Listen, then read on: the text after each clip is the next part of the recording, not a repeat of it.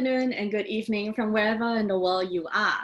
Today, we're going to do a cross-culture exchange program, and I'm your host, Alethea. I'm the PATA Youth Ambassador, and I'm very excited today to have with us multiple student chapters scattered around Asia Pacific, and we're gonna go on a backpacking adventure together with them to see their hometowns. So thank you very much.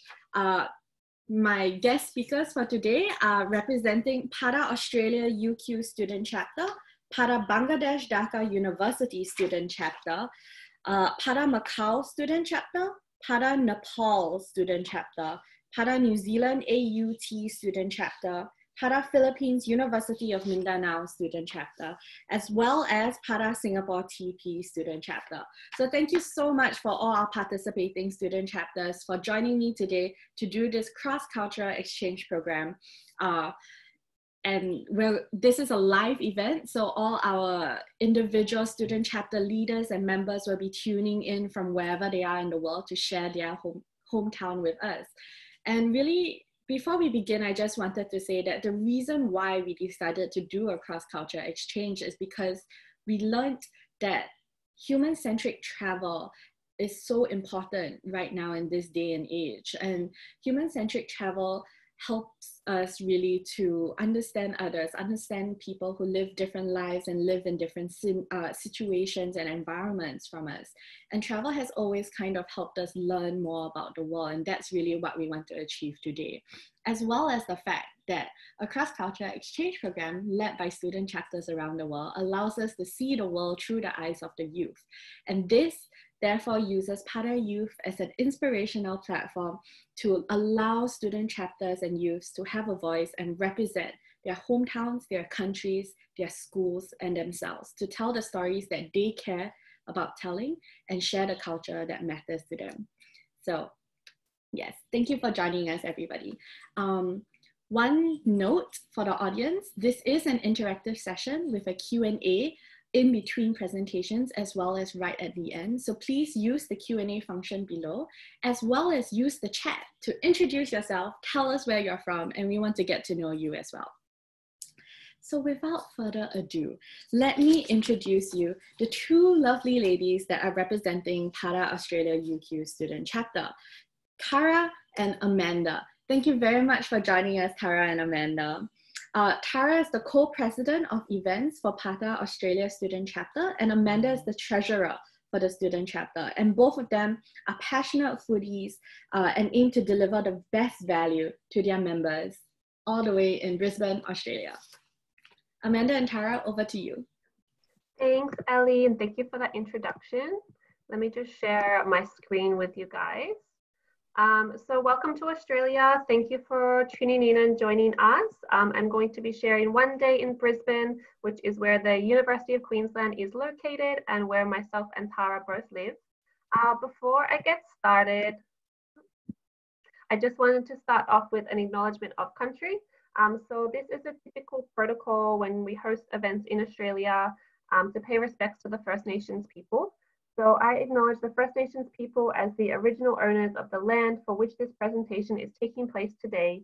I recognize the country north and south of the Brisbane River as the home of both the Turrbal and Jagera nations, and I pay deep respect to all elders past, present, and future. Uh, so some of you may be familiar with Brisbane, but you're probably more likely to be familiar with cities like Sydney, Melbourne, or tourist destinations like the Great Barrier Reef or Uluru. Uh, so Brisbane is located in the state of Queensland and it's often a transit destination um, to go to other tourist destinations. Um, it's a one hour drive from Surfers Paradise and some other iconic beaches on the Queensland coast. Uh, so Brisbane was established on the Brisbane River, which is still an important part of life today. Um, so we're going to start our journey at West End, which is like a trendy neighborhood cafe area. Uh, we're going to go and cuddle some koalas at the Lone Pine Koala Sanctuary, and then we're going to head downstream to Kangaroo Point for some rock climbing, um, and then on to Story Bridge, where we're going to visit a local brewery. Uh, so first off, um, to start the day, we're going to fuel up um, with some breakfast and some coffee. So now you're in Australia, you have to shorten all your words, so breakfast becomes brekkie. Um, there's definitely an emphasis with food in Australia of farm to table, and you'll find lots of vegetarian and vegan options. Similarly, with your coffee, you'll have all different milks to choose from, your oats and your almonds. Um, something I noticed when I've traveled is that there is much more franchises overseas. In Australia, we don't really, franchises haven't really taken off. Um, so most of our coffee shops are independently owned. People want to know their barista, where their coffee's from, who roasts it. You can go to even cupping sessions where you taste different flavors and different coffees or blend your own.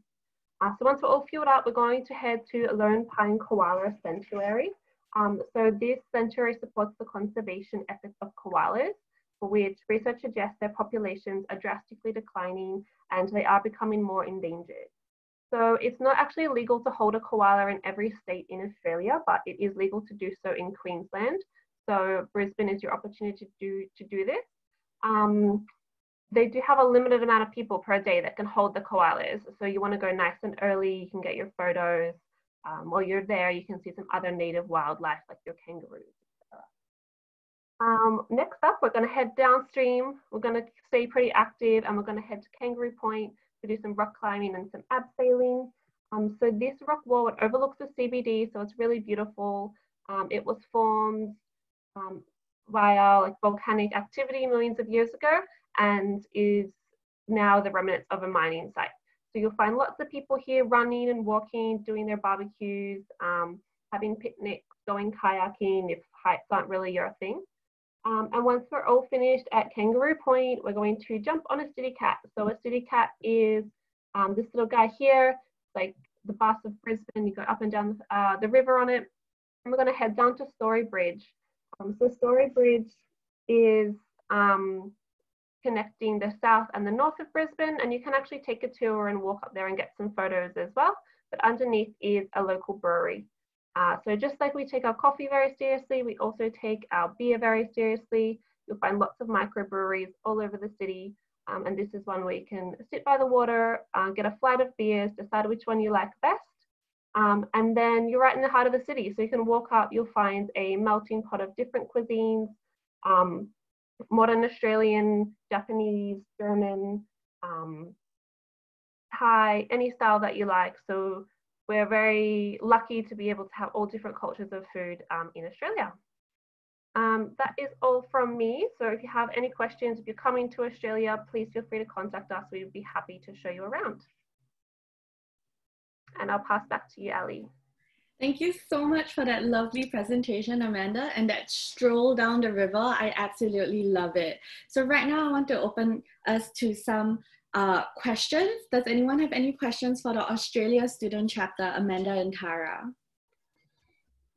Yes, hi. Um, what food would you recommend from to try in Australia, Brisbane? Um, to try like food wise? Yes. Or um, I would say a, a pie, an Australian pie. That's pretty classic Australian dish. Okay, thank you. What is an Australian pie? Do you want to do you want to explain that, Tara? Sure. So an Australian pie, we call it a meat pie. Um, and we know that typically a lot of pies are seen as being sweet, but in Australia we have it's um, it's basically like ground beef or like beef mince um, encased in pastry, and it's a small pie. It's, it's hand sized, um, and you can get that at your local like gas station, your fuel station. You can get it in your grocery store. You can get it at lots of bakeries. It's really popular at bakeries and lots of Australians get their coffee and their pie. Oh, that sounds amazing. It sounds like a good, it sounds like a good midday snack. So thank you very much, Amanda and Tara, for bringing us to Brisbane, Australia to really experience a little bit of the foodie culture and the coffee and the breweries. Uh, that's really that's really an experience that I really want to do one day in my life. So next up, we're going to travel to a completely different continent, to Bangladesh. Uh, representing the PATA Bangladesh Dhaka University student chapter is Sayeda and Musfiq. Hi Sayeda, hi Musfiq. Hello. Hello. Hello. Hi, so Sayeda is the president of the student chapter and she performs as their external spokesperson of, uh, who regularly interacts with PATA headquarters, university, government officials, and other stakeholders of the tourism industry. And Musfik is their promotion and IT coordinator. And I really like what uh, he wrote in his bio here. He says he has a proven track record of helping and rescuing the student chapter from all sorts of technical issues. Very glad to have you today with us, Saida. Thank you. Thank you. Please take it away. Yeah.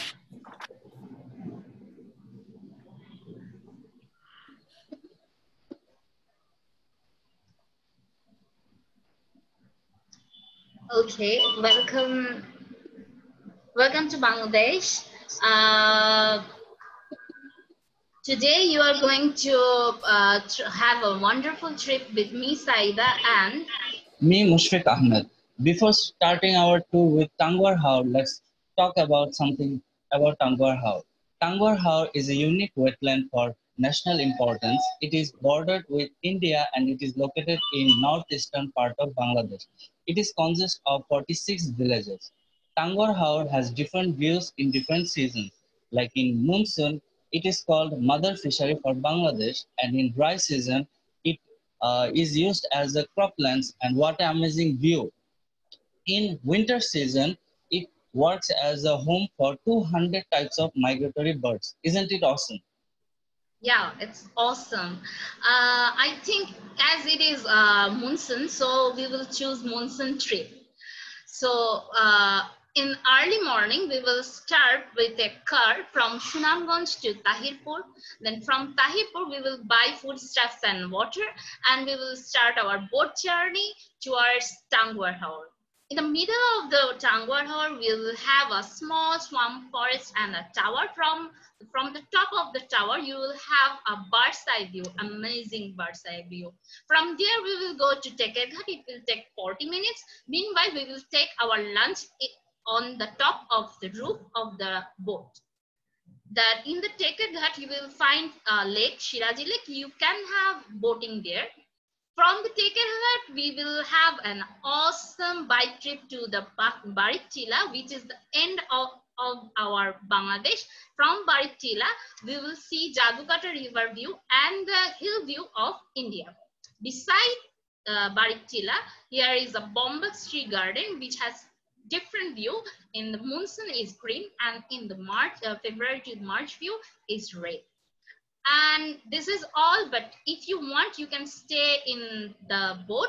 So here is a view of inside boat and outside boat at night. So let's visualize the trip through lens.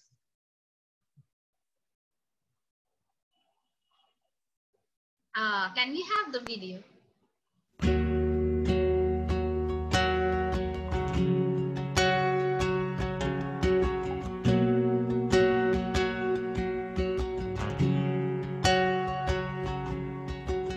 হারিয়ে গিয়েছি, এই তো জরুরি খবর। অবাক তুই চোখে, ছায়া কাপে ভয় অভিমানে। হারিয়ে যাওয়ার নিয়ম নেই এখানে। হারাবো বলে পাটি পেগোতে গেলে গোটা শহর বাতি জেলে সতর্ক পায়ে পায়ে হারাবা জায়গা খুঁজে মরি। গোটা শহর বাতি জেলে সতর্ক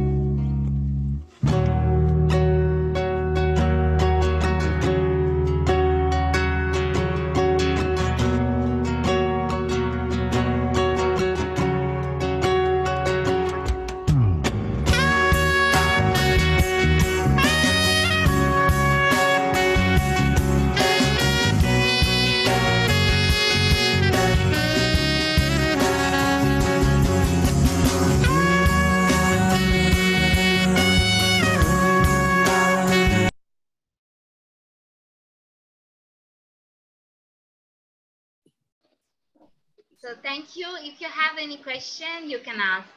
You're Thank you welcome to ask. so much for that beautiful presentation and video. Beautiful video. I think it really makes us want to just hop on a plane and go to Bangladesh right now. So are there any questions for the Bangladesh student chapter and their presentation? Questions, please. I was just wondering, you've got beautiful seasons in Bangladesh. When is monsoon season? Okay, monsoon is from uh, like May to Ju- uh, July. May to July. Then the post monsoon is also good for trip because uh, the uh, actually this is the water of rain. The the field is actually cropland, and after the rain it fills up with water. So um, from July uh, from May to August September is very good for boat trip. So basically now, now is the time Yes, yes. Yes. I really love it. Um, we also have a question from the audience. How is the weather right now? Uh, uh, it's uh, too much rainwater because um, too much raining because of this rainwater. Uh, there is a situation of flood in that area. Mm, mm. So there's also that duality between Yes. beauty and like destruction. Yeah. Okay. It's really it's really beautiful and the fact that there's it's the same place but it looks completely different during depending on different seasons. That's really magical. And I think I've been living in my I've been living in a city all my life. So I can't even imagine being able to live in a place with surrounded by such beauty. So You're welcome. You're most welcome.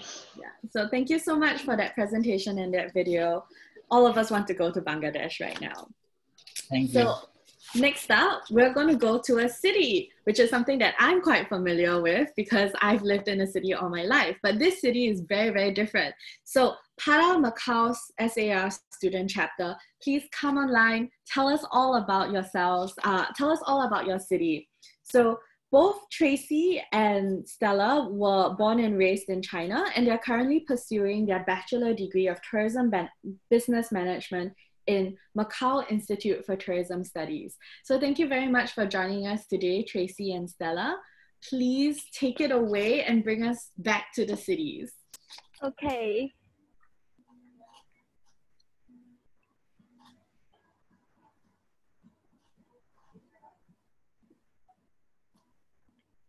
Okay, hello everyone. I'm Stella and I will talk about one day trip in Macau with Tracy. We are from PATA Macau student chapter.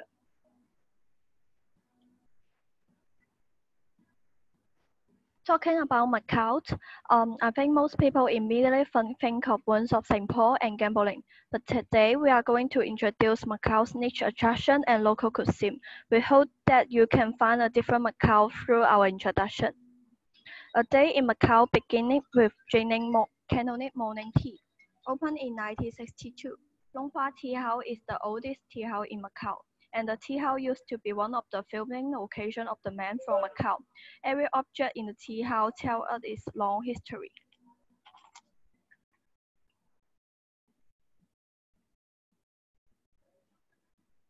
And after eating, eating and drinking, we will take you to one of the Macau's landmarks, the Macau Tower. Young people who like exciting sport here can experience all kinds of instant and excitement. You can choose different exciting sport with the different heights and speed according to your courage. The difference between the sky jump and bungee jumping is that the sky jump, you don't feel free fall bunts and you can jump in a standing position and stay that way to the ground. And if you don't like exciting sports, you can also enjoy a variety of entertainment, shopping, and dining at the Macau Tower. Here you will find a 2D, 3D theater showing the latest blockbuster gambling excitement with the chance to win a jackpot play out, and a huge variety of shopping options from the best European luxury to a huge range of children's toys. And from the fine dining establishment offering the authentic Chinese cuisine to delicious cafe style fare and irresistible and local delicious that delicious Macau Tower has something for everyone. And whether it is high hygienic excitement and retail VIP or fun and relaxation you are looking for, there are truly something for everyone at Macau Tower. Next, I will pass to Tracy. Hello, I'm Tracy and I will talk about Coloane. This is the backyard and one of the most colorful area in Macau. In here, you can find flowers, traditional alleys, and buildings painted in different colors. It's definitely a wonderful place for photo taking. And it's so pleasure to walk around the seaside, enjoy the beautiful view and delicious tarts. But talking about tarts, I have to mention a bakery house. It's called the Lord Stow's Bakery House, which is the most traditional and well-known tart brand in Macau. Many tourists consider tart there are the most delicious ones in Macau, and I personally think so. Uh, next is the Temple of St. Francis Xavier, which is a church in Coloane. It's not so large or popular, but it's a setting place for many movies and TV scenes. For example, the movie Look for a Star produced by Hong Kong, and the TV scenes Princess Hours produced by Korea. In Coloane, you can taste many Macanese food. These food are made from Portugal, but include a lot by the food from Guangdong province, South Asia, and Africa. And here are some main dishes. The one main tree is the cooking method that cut meat into small pieces. Some Macanese food are from Canton, like the tofu clam, and some are a little bit different from the ones served in Portuguese restaurants like fudge bacalhau and baked oxtail. Some can still be found in Portugal, and the remaining three. It's quite interesting that African chicken can never find in Africa and Portuguese chicken can never find in Portugal. They are both Macanese food and named after it because the seasoning they use. Also, it's food are daily food for locals. It's not very popular outside Macau, and not many visitors even know them. Some dishes even disappear because no one inherited. Therefore, I would like to encourage you to have a try. It's a tradition. It's an intangible heritage, and many restaurants and organizations are actively doing something to protect and promote. We all hope that more people can enjoy this food. Well, this is all about our trip in Macau, and I, we hope to meet you here someday. Thank you, and if you have any questions, please feel free to ask. Oh, thank you so much for showing us all that yummy dim sum. I can't wait to go and eat dim sum and egg tarts. Oh my gosh. um, yeah, please, does anyone have any questions for Tracy and Stella? Uh, yes, I have. Uh, Hi. Uh, it's really interesting what you have showed. I'm really interested about uh, Macau Tower adventure because I am an adventure person. So I'm thinking that uh, I, am a heavyweight person like 80, 85. So is it okay for me to jump from the tower? Is the weight uh, any kind of barrier there? Yes, yes, you can go there and buy the ticket for bungee jumping or sky jump and choose the project you like, yeah, you can drum it out. Yeah, it's cool. And you know, in many TV scenes or something like that, they, they just do this, and it's it's quite cool. Okay. Tracy, Stella, have you guys bungee jumped yourselves from the Not tower? yet. Not yet. Not yet. We are scared. we are, yes, we are a little bit scared. Yeah, if you are raving out, just come and do it. So when Sayeda visits you in Macau, three of you would jump together, I'm sure. Yeah, just Okay, thank you very much, Saida, for the question. Thank you, Tracy Thank and Stella, for sharing with us your beautiful culture and that beautiful seaside town as well. Such a hidden gem in like a city that we think we know, but we don't really know. So thank you very much for sharing with us about your hometown and your culture. Um, next up, we are going to Nepal. So from the Pacific, uh, from PATA's Nepal Student Chapter, we have with us Surendra, who is the chairperson, the chairman of the student chapter since 2019. Surendra, please take us to Nepal. Um, please unmute yourself. Thank you, Jesse. Thank you for the opportunity. Uh, let me sh share my screen.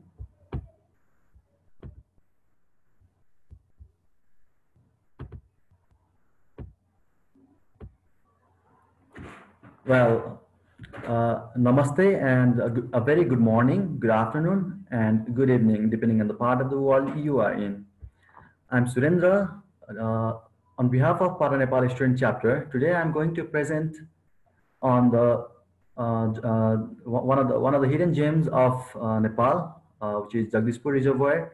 It is the biggest man-made reservoir of our country. Well, it is also listed in the Ramsar site in 2003. So uh, in, in Nepal, we have one international airport uh, with two international airports uh, coming very soon. Well, from uh, Kathmandu, it takes 30 minutes flight to, uh, to the nearest airport to uh, Jagdishpur Reservoir. Well, uh, if you want to experience the drive, it'll be a wonderful eight hour drive from Kathmandu to Jagdishpur Reservoir. Well, let's start our day. So in the morning at 7.30 a.m., uh, we'll have our breakfast and start our day uh, with the visit to Lumbini.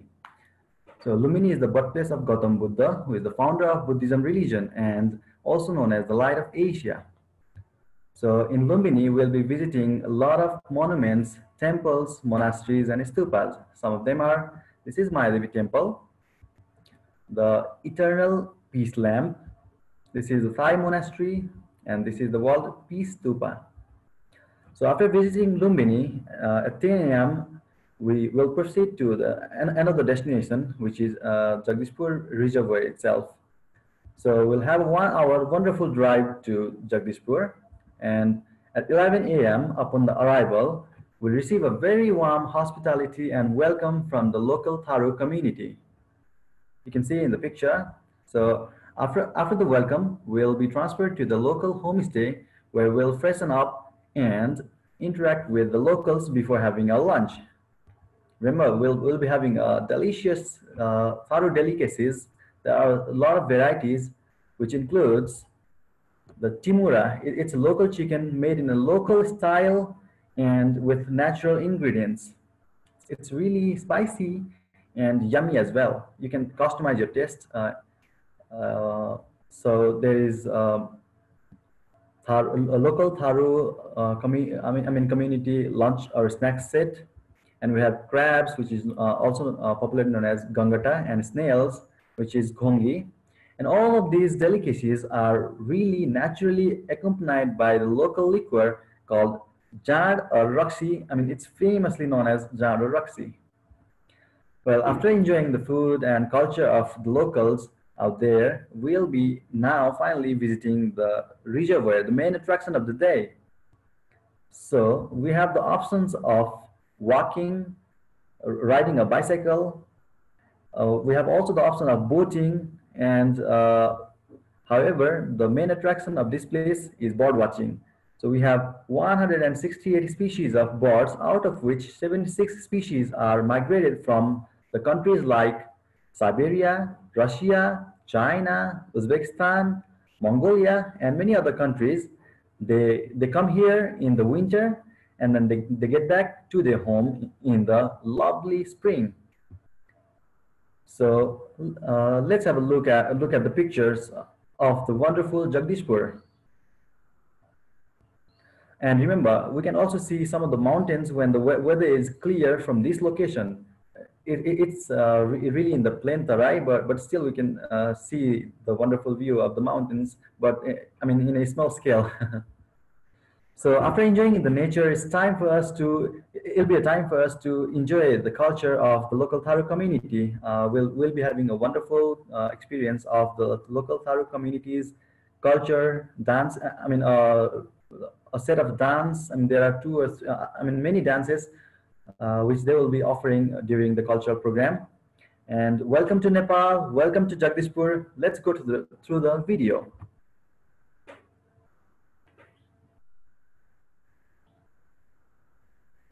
Alicia, can you play the video?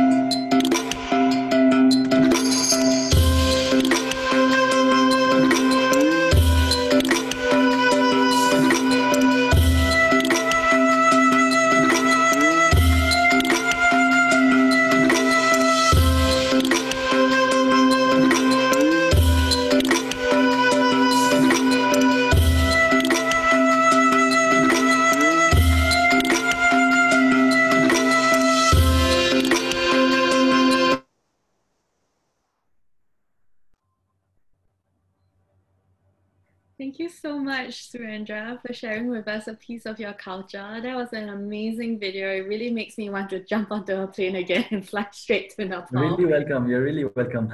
Yeah. Um, does anyone have any questions for Nepal and for Surendra? Yes, I have a question. Um, as I saw in your video, I saw there are many birds uh, swimming on the lake. I want to know when and where is the uh, when is the best season and where is the best place for the tour tourists to see the that birds. Thank Well, you. th- thank you very much for your question. I appreciate it. Uh, during the winter season, birds from many countries like Siberia, um, Russia, Mongolia, and other countries, uh, they come and uh, stay here in Nepal in, in the Jagdishpur Reservoir. And during that time, there'll be a lot of species uh, in, in the winter uh, to to just uh, view view the birds. But however, however, uh, the pre-monsoon is the best season for you to um, I mean, watch the birds out there. You'll be seeing some birds laying the eggs and feeding the feeding their um, I mean uh, the small one. and uh, it'll be a really really good experience for you. And uh, during the uh, autumn season, I mean uh, after the spring, I mean during the spring season, yeah, during the spring season, you'll be able to see the mountains as well, and that, that'll be a really good experience for you by being in like a, a low place. I mean a lower place, place and uh, seeing a mountain from there. Mhm. Thank you. Thank you very much. Thank you very much, Surendra, for sharing with us a slice of your culture. Um, it, it looks like such a great experience. I wish I could experience it for myself. I wish So- to see you here in Nepal someday. One day, one day, one day, hopefully one day soon. yeah. Okay, next up, we're going to a completely different continent, New Zealand. Um, the PATA New Zealand AUT student chapter is represented by Hanshika, also known as Hansi, and Roxanne, also known as Roxy. So Hansi and Roxy, do you guys want to turn on your video and join us today? Yes, um, it says the host has stopped our video, so if someone can One moment. on. Thank you. We're not allowed to see. Yeah. So um, just to give you guys an introduction, Hansi is actually current, currently pursuing her PhD in hospitality from the School of Hospitality and Tourism in Auckland University of Technology. And Roxanne is originally from Belgium, but she grew up in various different continents, including Africa, South America, Asia, and North America. Roxanne is also a PhD student. So thank you very much for joining us today from your very busy schedules. Is your video okay? Oh, I don't think so. No, it says our host stopped it. Can we please turn on the video? Oh, there we go. Our host has let us. All right. yeah. Okay. Welcome. so- Thank you so much for joining us. Sorry about that video. All right. No worries.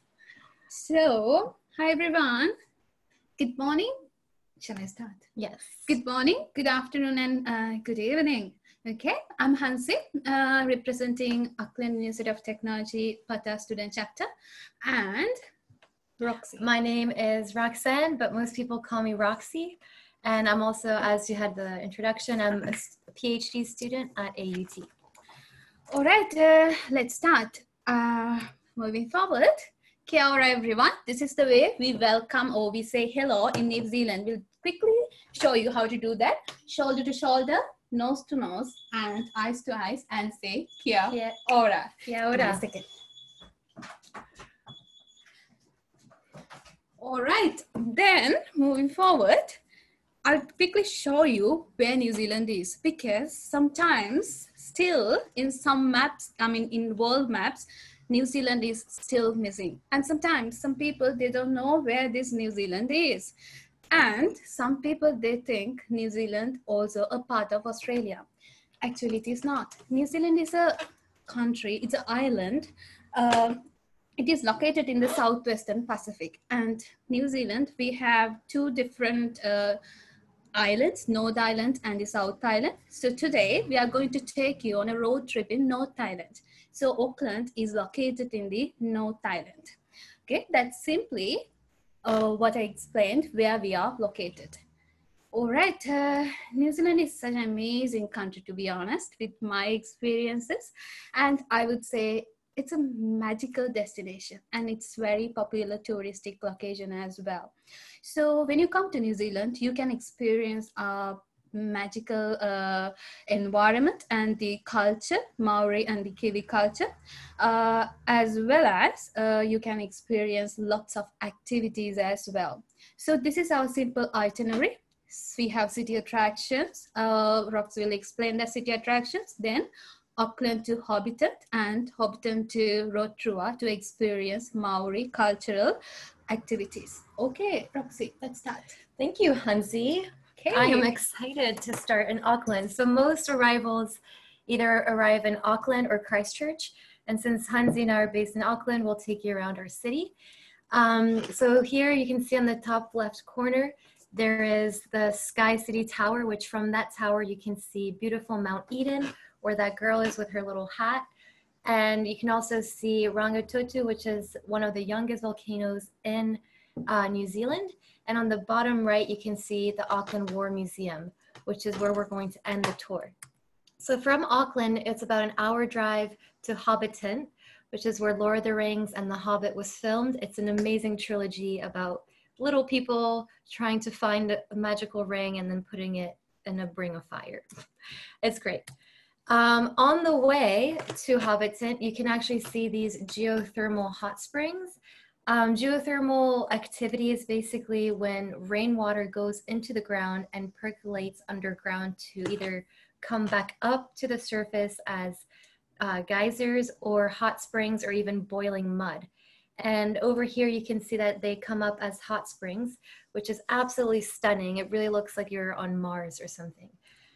Um, and then on the way back from Hobbiton, we can go slightly different direction and you'll go into the Maori cultural village. And the Maori are the indigenous people of New Zealand. They have beautiful cultural festivals and ceremonies and dances.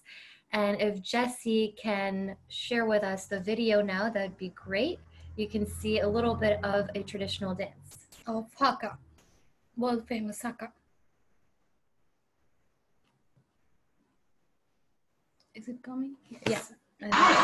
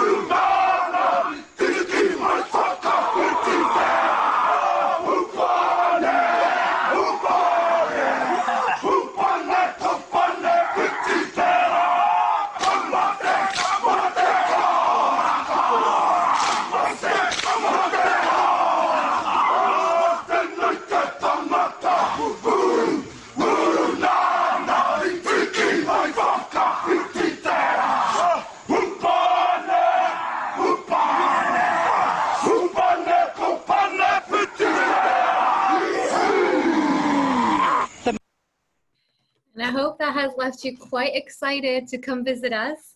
Um, and if you have any questions, just feel free to email us or check out our Facebook page. And we hope to see you soon. Thank, Thank you, guys. Thank you so much, Roxy and Hansi, for that amazing presentation that really brings us to so many different coun- uh, so many different countries because I consider Middle Earth as a different place altogether. So thank you. Um, does anyone have any questions for New Zealand?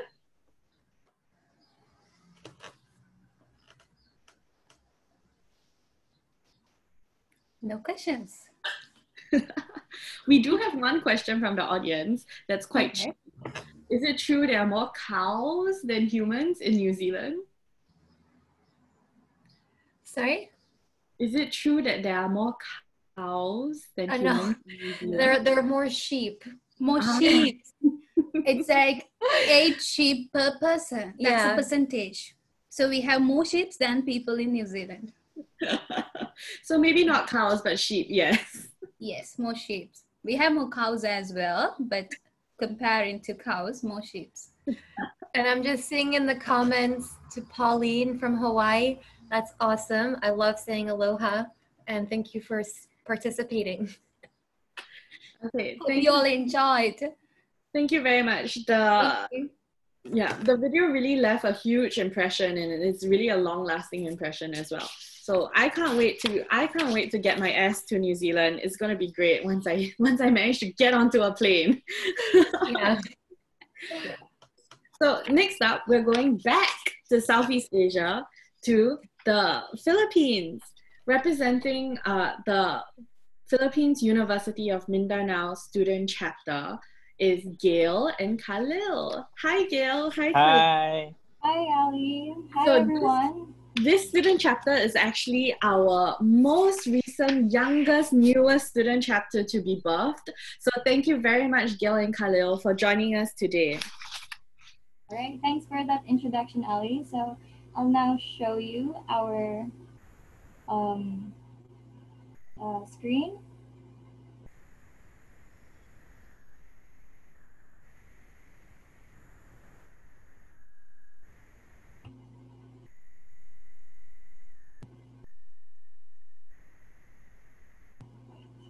Moment.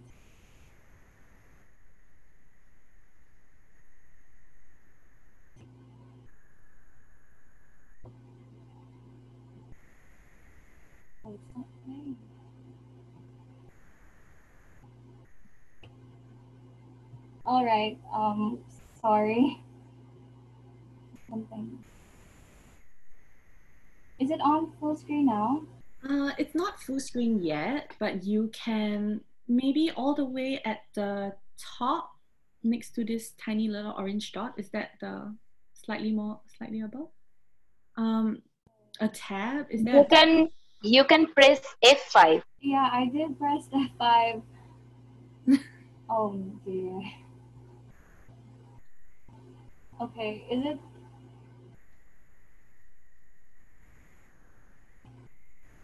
Um, Wait, let me. Let me do that again. I'm really sorry, everyone. No, that's okay. Technology always fails us at the moment where we need Yeah. it most. Yeah. Yeah. Why, why is it like this? So, uh, Khalil, while Gail tries to put the PowerPoint on full screen, why don't you tell us a little bit about your university? Yeah, our university is uh is not only uh popular in uh in the Philippines but also in popular uh world class. It is a world class uh university, and uh we have uh, uh a good a good um students here that can uh were uh very hospitable and and it is a non-sectarian uh, education. It is a non-sectarian, so there's no no race matter. So if you are black, white, Muslims, or what's what religions you have, you are fully uh, accepted here in our university. It's really nice to know that it's really nice to know that everyone's accepted, everyone is there to learn as well. Yeah. Yeah, and I think that's something that's really beautiful about the Philippine culture because you guys are so welcoming. You guys are known for your hospitality. Indeed. Okay, so Gail, do you want to start the presentation? Yes, sure. Sorry for that technicalities again, everyone. So we'll start. Mabuhay o Madayaw, I'm Gail, Jam jam. and we'll virtually guide you to the beautiful Davao City and the sights to see. Is everyone ready? All right, so Davao life is here where nature meets halfway with modernization. Now, maybe some of you are still unfamiliar about Davao and wonder where in Philippines is Davao City. So I'm going to show you the map of the Philippines. So we're located just right here in the southeastern portion of the Mindanao Island. So did you know that Davao City is the biggest city in the Philippines in terms of land area? Moving on, the people in Davao City are called Davaoeños, and Davaoeños are peace-loving people. We ranked as second among the safest cities in Southeast Asia behind Chiang Mai, Thailand, and we religiously observe ordinances here such as no smoking in public places and even stringent speed limits. Here we are the ba- fruit basket of the Philippines. Here are the fruits that you can usually find here. First is durian, where some people say it smells like hell but tastes like heaven. We also have mangosteen, marang, lanzones, rambutan, and more. Davao City is a melting pot of different cultures, traditions, and religions, and we're very proud of that because um, it is a diverse but a unique city where everyone can experience and see our culture. So so Gail, uh, when is the best time to visit Davao? Yes, great question. So this is a highly anticipated event here in Davao. That's the Kadayawan Festival. It is tagged as the king of festivals in the Philippines, where it brings together locals and travelers alike for good food, drinks, and music. Here you can experience in different Mindanao communities dance on the streets, or in our language we call it Indak Indak sa Kadalanan, where they wear these tribal costumes, as you can see here in this picture. And there are more ways to discover Davao's culture when you visit the Kadayawan village. Here you can see the 11 ethno-linguistic tribes and their culture, cultural houses, which allows them to show people how they strive to keep their culture alive even in modern times. Okay, which destinations in Davao are we gonna take everyone? Because there are so many exciting things and places to go here. Yes, absolutely. So there's so much to explore here in Davao, and now we're gonna take you to top eight destinations here. So buckle up, everyone. Our first stop is the Eden Nature Park. This is a 95% man-made park and is home to over 100,000 pine trees. Here you can enjoy camping, trekking, um, fishing, fishing, horseback riding with your family and friends. And if you're ready to overcome your fear of heights, you can try one of their highlights just like this in the picture, the Sky Cycle. This is our national bird. It's called the Philippine eagle. It is one of the world's rarest and largest bird, and it can only be spotted in top four major islands here in the Philippines, and Davao City is one of them. You can witness this critically endangered bird here in Philippine Eagle Center, where they are bred and taken care of by the volunteers. So where else are we gonna take them, John? Okay, our third destination is just 10 minutes away, Eagle Center, the Malagos Garden Resort. Malagos Garden Resort, an agreed ecotourism resort that offers an all-inclusive hospitality experience from dining, accommodation, recreation well to wellness activities in a sustainable farm setting. In Malagos Garden Resort, everyone can get to interact with the animals and feed them, just like in the picture. You can also try their award-winning chocolates. Unleash your inner chocolatier and make your own chocolates, adding different toppings such as dried fruits, peanuts, and more. And they also have parks where you can feel like Alice in Wonderland. Big sculptures and sweet treats that are surely Instagram worthy. Next is Jack's Ridge, one of the most popular recreational and dining destinations in Davao City. From your table, you get to experience an eagle's eye view of Davao. It's even nicer here, so you could see how wonderful the city lights. And now let's move on to the Bone Collector Museum. Here you can see well-preserved skeletons of various animals from different environments. The 41 feet sperm whale in this museum was found dead on the shore. And during that time, they discovered a lot of plastics and garbages in its belly. Yes, this museum is a sobering reminder of how our actions can often have a devastating impact on our environment. That's right. So, a trip to uh, a trip to Davao wouldn't be complete without checking out the Samal Island. Here are some resorts and beaches you can find here. You can also enjoy island hopping with your friends and family, and these places are really perfect for your Instagram feed. And if you're interested to try Filipino street foods, let's go straight to the Rojas Night Market. I think one of the best way to discover and get to know other culture and people is through food, right? I totally yeah, I totally agree. Charcoals get lit up from 5:30 p.m. each night. You can enjoy robust sit-down meals, barbecue, and more. Jam and I, together with our friends, we usually go here after school. Yeah, it's a great place to hang out with friends and satisfy street food cravings. Here are must-try street foods in Davao. The first one is kwek kwek, one of the famous foods. We use whole chicken eggs coated in orange butter, then fried till crispy. The second one is isaw. These are barbecued chicken intestines, very delicious when you pair it with rice. The third one is balut, a popular street food. This is a fertilized egg that has been incubated for approximately 18 days. And lastly, the halo-halo. It is the best for summertime treat. It is layered dessert consisting of sweetened beans, fruits, shaved ice drizzled with evaporated milk, and ice cream. So what are you waiting for?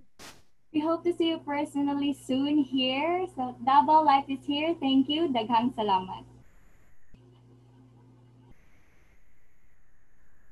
Thank you very much for that presentation. I'm so glad we got those technical issues solved because that presentation was absolutely worth it. Um, does anyone have any questions for Gail and Khalil? Yes, thank you so much for such an amazing presentation. Um, I just have a quick question. Uh, could you do some scuba diving around the area as well? Yes, in Yeah, yeah. Samal Island, there are actually a lot of um, scuba diving spots here. Very beautiful. Oh, awesome. Thank you. Thank you. Uh, your presentation really has everything. It has everything from like the beach holiday with island hopping and scuba diving and snorkeling to like Mhm. street food to like um, learning about sustainability because you guys have shown us like how your city is a leading example in practicing and and and uh, enforcing sustainable practices. So thank you so much because I feel like I really learned a lot and I truly want to visit you guys. Thank you, Ali. Thank you. Thank you. So next up, we're going to go somewhere that's very close to my heart because this is my home, Singapore. So uh, from the PATA Singapore TP student chapter, we have with us today Jolene and Marilyn. Uh, both of them are pursuing the, a diploma in hospitality and tourism management at Temasek Polytechnic, and we're very happy to have them here with us today. Hi, guys. Yeah, hi, my name is Marilyn. Jolene, you must unmute yourself. Hi, I'm Jolene. So please take us to Singapore.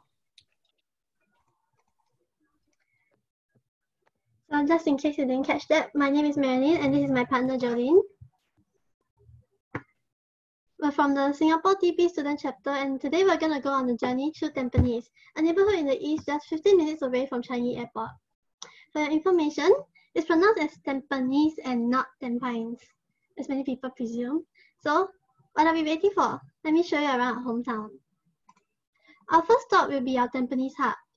Opened in 2017, it is Singapore's largest integrated community and lifestyle hub with many facilities available to the public, such as a library, sports facilities, hawker centers, and retail shops. It is also a place where visitors can eat, play, have fun, study, and exercise. You can really witness the everyday life of locals here at Tampines Hub. Have you ever watched Maze Runner? Have you ever wanted to try a maze for yourself? Well, just located outside of our Tampines Hub is the Tampines Maze Garden. Put your puzzle solving skills to the test here and try to solve this maze. And if you want a bit more excitement, head over to the Wayside Maze located directly behind this one and maybe play a round of tag with your friends. We will also be taking a group shot here to commemorate the day. A playground shaped like a fruit? Doesn't that sound fascinating? Well, we have one here in Tampines. Behind our Tampines Hub, located in Tampines Central Park, is a watermelon playground. Opened in the 1980s, this playground was built by HDB architect Miss Kwi Hua and was inspired by the fruit farms of rural Tampines before the town was built. It brings many nostalgic childhood memories to the locals, and we'll be spending some time here exploring the playground. Thereafter, we will head to the Tampines West Community Club's paper crane mural. Titled Home, it was created by Sam Low, a former TP student and a self-taught, Singapore-based, non-binary visual artist whose work revolves around social commentaries.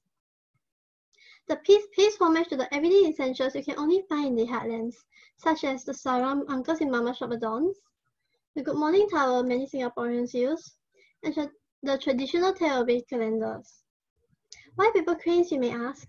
Well, some say it represents hope as we start from the paper cranes we first learn to fold as children, and as we grow, grow and soar, we bring a little piece of our home and background with us. So without further ado, Jodie will be continuing the tour. So after all that walking, why not we cool off and take a short break at a cafe called Three's a Crowd? And if you have a sweet tooth, then you're in luck. This cozy cafe was started by three secondary school friends and they serve artisanal ice cream, waffles, cakes, and coffees. From the classic ice cream flavor, cookies and cream, to unique flavors like berries cheesecake. We have plenty of options to choose from to satisfy your sweet tooth. Thereafter, we will head to Tampines, Round Market, and Food Center. It has been upgraded to include child-friendly and wheelchair-friendly facilities. It also has unique A-shaped roof that resembles the kampong villages of Tampines yesteryears. Isn't it fascinating?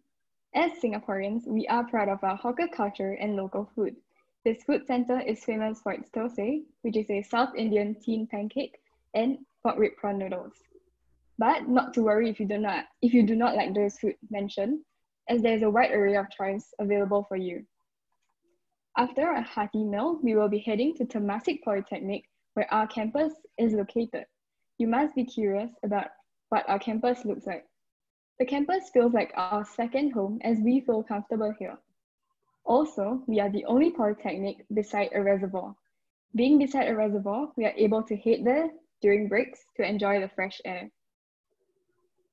Just five minutes walk away from our campus, we will walk to the Bedok Reservoir. It is an area where many joggers engage in their exercise, people walk their dogs here, and our very own TP kayaking team also trains here. Lastly, we will have our meal at a peaceful and tranquil place just by the reservoir at Wawawa Bistro, which is famous for its mini cheeseburgers. Doesn't it look delicious? So we hope that you had fun and at the same time got to know our hometown better, and we certainly want you to be back. Thank you. Thank you so much, Jolene and Marilyn. That was great. Um, Khalil, do you have a question for them? Yeah, I have a question. Uh, I really like the presentation, the destination, and I have a question about the food. So, what are the top foods there that you like to recommend? Ari, can you repeat your question? What's the top? What are the top two foods that that there you like to recommend? Ah, the top two food that we like in Tampines. Um, as you said just now, there there was um the the um, pork rib prawn noodles. That's one food that I would recommend trying because it's very delicious. Another food that um I recommend is the Singapore. Singapore is kind of famous for its chicken rice actually. So I recommend trying the chicken rice here in Singapore as well. That's it. Thank you. Thank you so much, Jolene and Marilyn, for a trip around Tampines. Um, Tampines is a heartland in Singapore. It's in local neighborhood, and I really miss. I really miss Singapore, and I'm I'm feeling a bit homesick right now. So thank you very much for that glimpse into your neighborhood and your hometown. You. So we have actually come to the end of our PATA Youth Cross Culture Exchange event. So we want to do a poll for the audience where we're going to decide based on the popular vote where we're going to go exactly after this um, global pandemic is over and we can all start traveling again. Because at the end of the day, this entire event was only possible because it's part of the PATA's Dream to Travel Festival. And as the name suggests, all of us really like to dream about traveling. So this was an exercise in um, learning about everyone's culture, learning about different foods, different cultural traditional dances, what different destinations have to offer. And I'm really happy that we had an opportunity to hear what type of culture the youth think are the best parts to share with us. So I'm really glad for that. So I encourage everyone to vote in the poll. It's really just something that is light-hearted and we want to know where you want to go. You also can choose more than one choice. So please, everyone, let's vote. Um, I also want to say thank you to all the participants who spent time and effort curating a one day itinerary for us. So everyone, can you please turn on your video and join me again?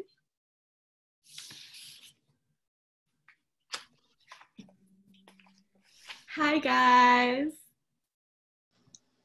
Hello. So it's really nice to be able to see all of your faces at one shot uh, at one time. And I just wanted to, for us to all be able to see each other as we finish the poll. So almost everyone has voted. Um, and the results are pretty interesting. So share the poll results. Drum roll, please. Ta-da! Um, New Zealand, Roxy and Hansi. you guys have won the popular vote by 34%, but followed very closely by Philippines, Gail, Khalil. Yes. You're all welcome here. Very welcome. Uh, we also the votes are really really close everyone because at 30% for third place we also have australia and bangladesh tied at the same at the same percentage of 30% so every i I'm, I'm just i just want to go everywhere. I just want to travel everywhere. So thank you very much for joining us today and for voting in our poll and for traveling and backpacking with us across time and space and asia pacific um, can we share that? So we want to do a quick Q&A session from the audience. we want to do a quick Q&A session from the audience where we kind of like have an opportunity to talk and answer your questions. Uh, so if anyone has any questions in the audience, please use the Q&A function down below so that we can answer your questions. Um, and we've really been using the chat. So there's a lot in the chat as well. Um, and everyone's just saying like, oh, we want to go to Macau and someone's craving dim sums. Someone else said, we can't wait to visit Davao. It really sounds amazing. So yes. Or if the student chapters have questions to ask each other, please feel free. I actually wanted to ask the Philippines, sorry, a question um, because I really, really want to go there. And I'm wondering what it's like there at the moment if you're still on lockdown, because I know some chapters are all working from home and some people are back at uni. So I was wondering, you know, how long is it going to be till I can come? Yes, here in Davao, it's still we're still on lockdown, and um, I'm not really sure yet if people are still allowed to travel around here. So yeah, hopefully when when everything's okay, we will really welcome you here. Thank you. Hopefully next year. Yes.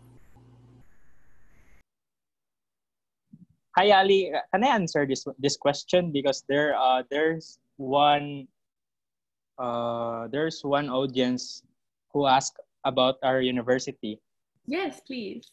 Uh, uh she asked um does the university offer any tourism courses? Yeah, uh, University of Mindanao offers uh, a tourism course and also a hospitality course. It is a four-year degree. Yeah, that's it. Thank you. So most of, to, to be clear, most of our student chapter members and leaders as students, most of us are all tourism students and all the universities that we represent do have tourism courses. So it is it is pretty it is pretty a uh, passionate community because all of us here really study tourism because we love it because we believe that it can change the world for better. Yeah. Um, we have one question for the singapore student chapter. Uh, regina asks what's so special about chicken rice? And actually chicken rice is considered one of singapore's uh, national dish. It's it's a really simple dish actually with rice. You can there's a special type of rice sometimes used called uh fragrant rice uh in English.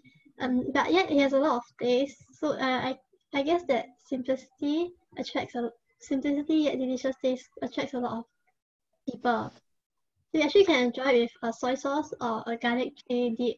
But if you're if you like spicy food, yeah. Yeah. I have friends in Singapore who swear by the special chili sauce that comes with chicken rice, and it's one of their favorite foods. Okay, um, I really encourage the audience to send in questions. This is a rare moment where you can like kind of uh, ask questions and exchange ideas and everything. From our student chapters, are there any more questions that you want to ask each other?